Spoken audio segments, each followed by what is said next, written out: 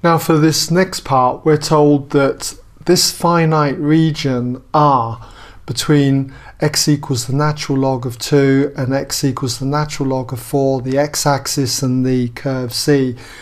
This area is rotated through 360 degrees about the x-axis and we've got to use calculus to find the exact volume of the solid generated. So this is a typical volumes of revolution question.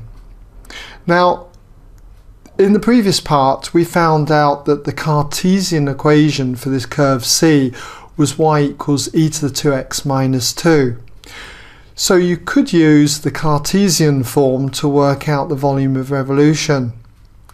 I will show you though in another video how you can do it just using the parametric form, which is generally what we do do in questions like this. Um, but it's just purely because we were asked to work out the Cartesian form that we might as well pick up on this.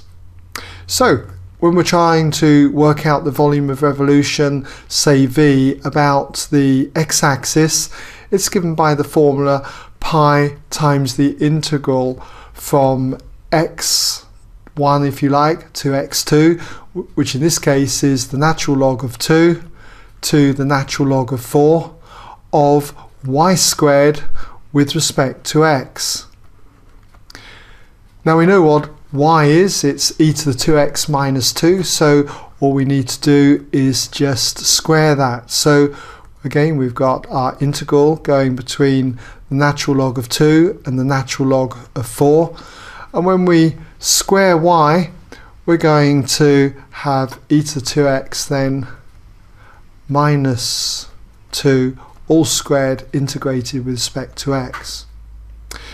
Now let's expand that uh, bracket next. So our integral then is still from natural log of 2 to the natural log of 4. And if we expand the bracket, we've got e to the 2x all squared, which is e to the 4x and then we have twice the product. The product is minus 2e to the 2x, but we need to double that, so it's going to be minus 4e to the 2x, and then we square the last term, which is going to be plus 4. Okay? Now, if we integrate each of these terms, we're going to have pi times then if we integrate e to the 4x we get e to the 4x over 4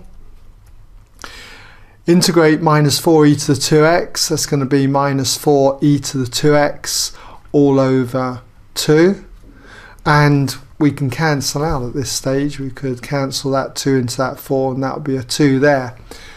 And then for the last term integral of 4 with respect to x is going to be 4x so we've got our limits now going from the natural log of 2 to the natural log of 4. So it's just a case now of substituting our values in. So therefore we've got that v equals pi times.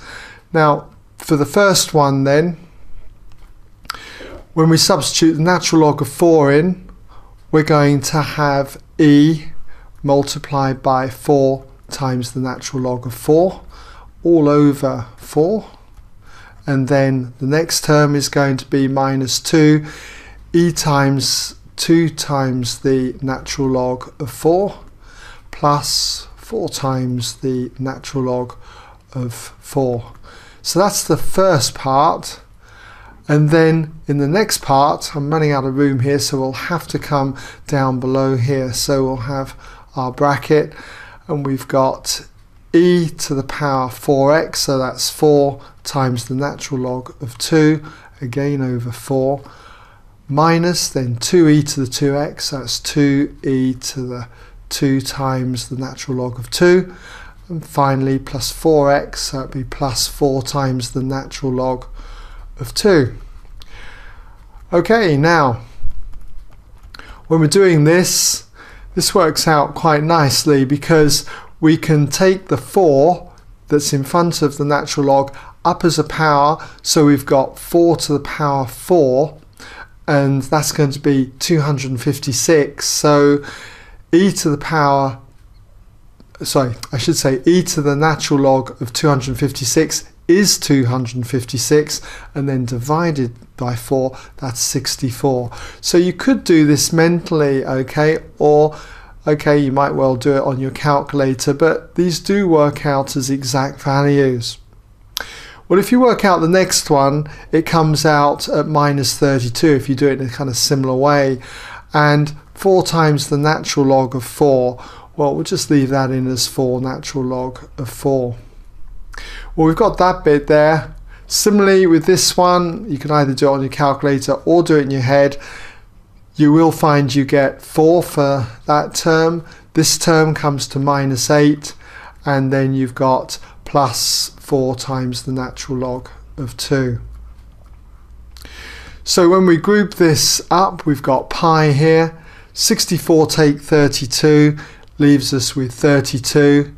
And then you've got here, what's this? 4 minus 8 is minus 4. Minus minus 4 is plus 4. So you've got 32 plus another 4. So that's going to be 36.